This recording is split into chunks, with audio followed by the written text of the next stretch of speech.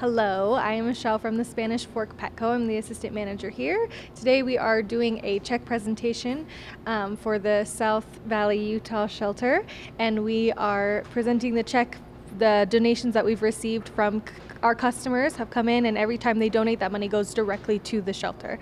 Whenever um, they receive those donations, they're able to take care of animals and bring in extra animals um, to take care of surgeries, emergency surgeries that might be needed, getting them all spayed and neutered, and um, providing them with meals and stuff as well.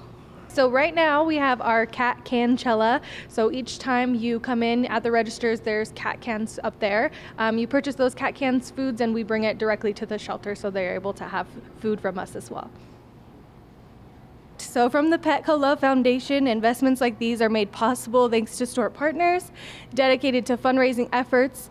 And every time a guest comes in, we ask if they would like to make a generous donation.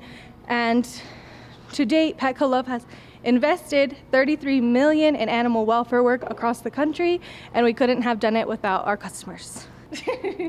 And I am the manager at the South Utah Valley Animal Shelter. And we are so grateful to Petco and Petco Love for making uh, a generous investment in our shelter and the animals in our community of $55,000.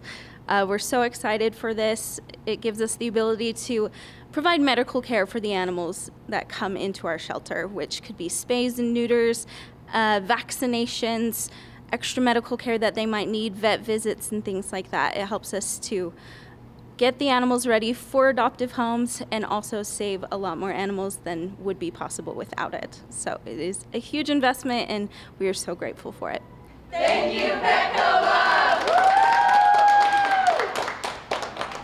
Uh, it's been quite a few years. I believe it's been about four years that we've been able to um, have financial assistance from Petco Love, and it's made a huge difference for the animals in our community and our shelter. We've been able to get animals spayed and neutered before adoption. That helps out a ton with overpopulation of pets. We're also able to vaccinate animals when they arrive at the shelter to keep the incidence of disease at the shelter lower. We're also able to provide extra medical care for those few animals that come into the shelter that might need it. For instance, a cat with a broken leg, we can get that treated. Or a dog who might have an eye injury and it needs to be removed, we can do that with this financial assistance from Petco Love um, instead of having to look at things like euthanasia. Those animals have a chance and they can go into a home healthy.